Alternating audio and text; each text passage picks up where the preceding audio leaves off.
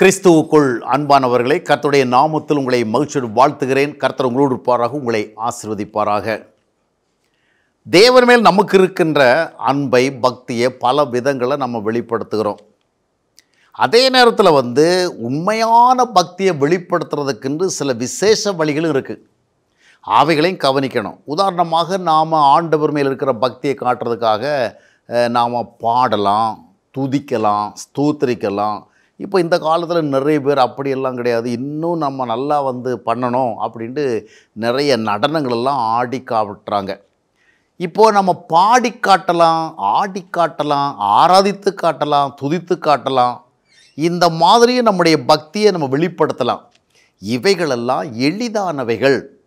ஆண்டவரை பாடுவதோ கைகளை தட்டுவதோ இல்லைன்னா நடனம் ஆடுவதோ இல்லை என்றால் அதிக சத்தமிடுவதோ இல்லை என்றால் நூற்றுக்கணக்கான துதி சோத்திர பள்ளி சொல்லுவதோ இவைகள் எதுவும் நம்முடைய அந்த மனித ஆற்றலுக்கு அப்பாற்பட்டதல்ல. சாதாரணமாக நாம் ஆண்டவருக்கு மகிமை செலுத்தணும் அப்படிங்கிற சிந்தனையோடு இதெல்லாம் செய்ய முடியும்.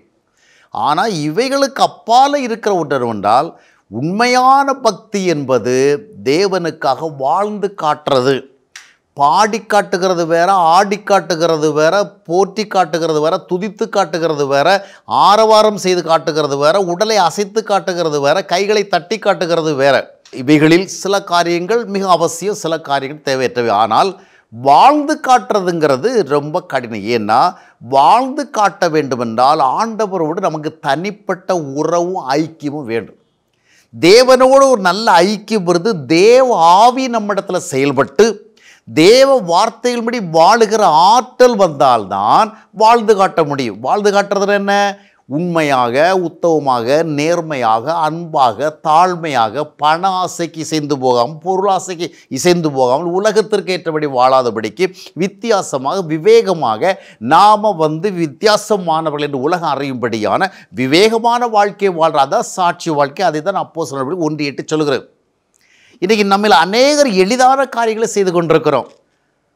அநேகரை விட நம்ம நல்லா ஆராதிக்கலாம். பலரை விட நன்றாக துதிக்கலாம். பலரை விட நன்றாக பாடலாம். பலரை விட நன்றாக கைதட்டலாம் பலரை விட நன்றாக உடலை உலுக்கி ஆண்டோர் மேல் நமக்கு விசேஷமான பக்தி இருக்குன்னு காட்டலாம். ஆனால் இவைகளெல்லாம் மாம்சீக அடிப்படையிலே செய்ய முடியும். ஆனால் வாழ்ந்து காட்டுவது தான் கடினம். எனவே அந்த வாழ்ந்து காட்டுகிற பக்தி தான் ஆண்டவர் விரும்புகிறார். அதற்காக தான் நம்மை தெரிந்து கொண்டிருக்கின்றார். எனவே வாழ்ந்து காட்டுவதற்கு ஏதுவாக மனம் திரும்பின அனுபவத்தோடு பரிசுத்தமாக்கப்பட்ட அனுபவத்தோடு தேவ உறவோடு தேவ ஐக்கியத்தோடு தேவனோடு பேசி பழகி வாழ்கிற வாழ்க்கையோடு ஆண்டவருக்கு அர்ப்பணித்த பின்னணியோடு நாம் செயல்படுகிற பொழுது நாம் இந்த உலகத்தில் நல்ல குணங்களோடும் நல்ல பண்புகளோடும் நல்ல நோக்கங்களோடும் நல்ல நடத்தைகளோடும் நல்ல ஒழுங்குகளோடும் உண்மை உத்தமத்தோடும் வாழ முடியும். அப்படிப்பட்ட ஒன்று தான் விசேஷமான ஆராதனை. அதைத்தான் ரோமர் பன்னிரெண்டு ஒன்று சொல்கிறது. எனவே ஆண்டவருக்கு நாம் மேன்மையானதை செலுத்த வேண்டும். மாம்சீக பலத்துக்கு உட்பட்டவைகள் அல்ல ஆவி பலத்துக்கு உட்பட்டவைகளை அந்த ஆவியை பெற்றுக்கொண்டு நாம் செயல்பட வேண்டும். வாழ்ந்து காட்டுவோம். அது தேவனுக்கும் மகிமை நமக்கும் திருப்தி உலகத்துக்கும் பிரயோஜனம்.